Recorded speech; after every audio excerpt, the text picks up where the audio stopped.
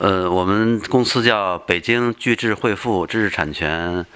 咨询管理公司。嗯，公司主要是涉及科技创新、知识产权的领域中呢，专利的知识产权的保护，到知识产权的这保护方案的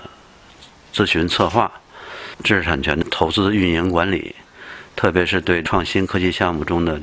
估值分析以及后边的孵化和投资。这块呢是基本上是涉及知识产权创新投资的全产业链的一个知识产权的服务，嗯，我觉得有这么几个特点，就是第一呢，它的创新基本上是原创，这个我印象是比较深的，因为我们公司是知识产权的法律服务和投资的，所以我们对每一个项目其实都要做检索分析。那么在以色列的，我想它的创新环境呢，比如鼓励原创，所以我觉得它的创新点呢比较新。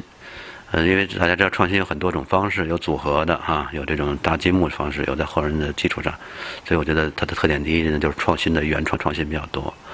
第二个呢，我认为以色列的创新项目呢，我看到的呢还是起点比较高，展现的科技的高度呢，或者说这个超前性呢是比较强的啊。